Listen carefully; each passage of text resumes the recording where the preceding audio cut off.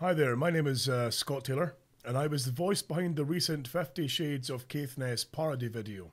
Um, and thank you to everybody who watched the video, who liked it, and who sent us messages and text messages and emails, uh, comments on the video directly on YouTube, saying that you enjoyed it. Uh, really loved making it, it was a really good laugh.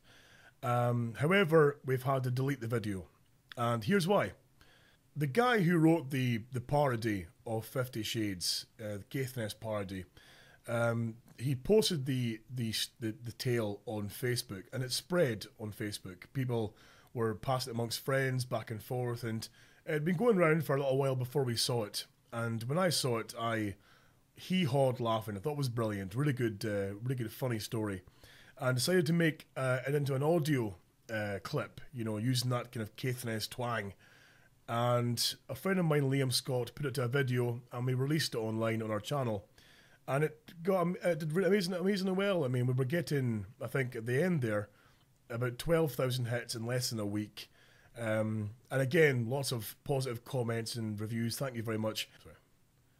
However, the after the story appeared in the Caithness Courier about the video, the author uh, got in touch and said that he wasn't as happy as he was initially with the video um, using his work, that he found it some of his worst written work and was maybe a little bit, a bit um, publicity shy about the whole thing, didn't want his name linked to it, and that had, had seemingly caused offence to people close to him.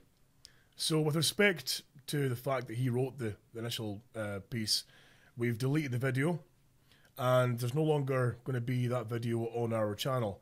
Um, I believe that it may be available elsewhere online, uh, not by us, by other people have, uh, I think, copied the video and uploaded it themselves. We've got no responsibility for that. That's their choice. Um, just so you know, we deleted it, our, deleted it on our part, and that's all we can do.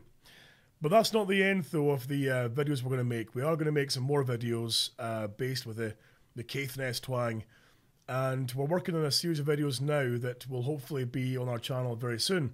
So keep your eyes peeled to youtube.com slash doghousebastards where you'll see all our latest uh, adventures of Bucktooth Macatoot.